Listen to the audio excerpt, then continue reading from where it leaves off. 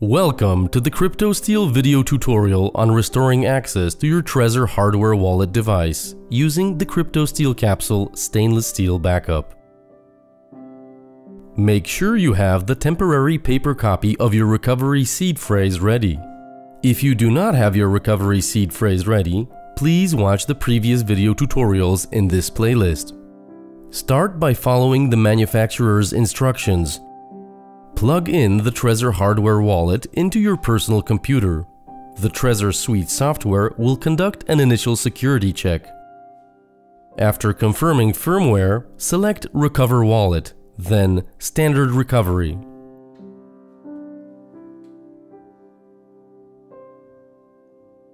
Confirm the recovery process on your Trezor device. The Trezor device will prompt you to enter abbreviated four-letter words from your recovery seed phrase on random order. You should already have your temporary paper copy prepared for this process. You only need the first four letters of each word to restore your BIP39 password because the system is based on a predefined vocabulary.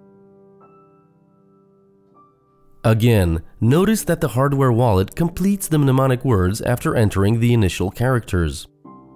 The BIP39 standard, invented by Satoshi Labs, creator of the Trezor device, has been embraced by all leading hardware wallet manufacturers, including Ledger, Bitbox, and Blockstream. You are now watching the process in a time lapse, but from beginning to end. You will only need to enter the first few letters. That's all it takes.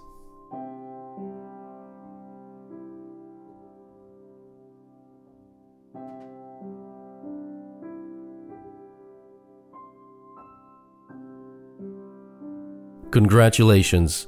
You have successfully restored your hardware wallet and access to your crypto assets. Although simple and only taking a few minutes, this procedure provides lifelong protection for sensitive data. Make sure to destroy the paper copy. CryptoSteel, the mother of all backups.